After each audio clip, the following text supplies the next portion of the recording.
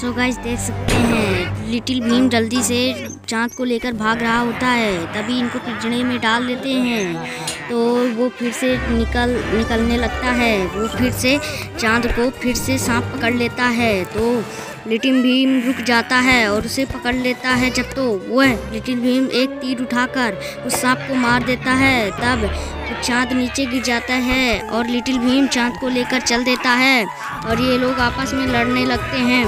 जब वो भाग जाते हैं तो ये सीटी बजा देता है जिसकी वजह से उसके सहत तो सैनिक आने के बाद दोस्तों ये भाग रहे थे।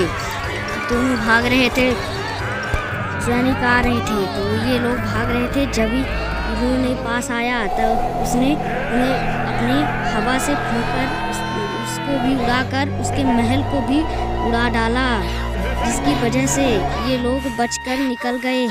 और रात में सोने लगे, रात हो चुकी थी। लिटिल भीम सो रहा था। सोकर निकला बाहर। बाहर निकलने के बाद अपने घर के बाहर नजारे देखने गया।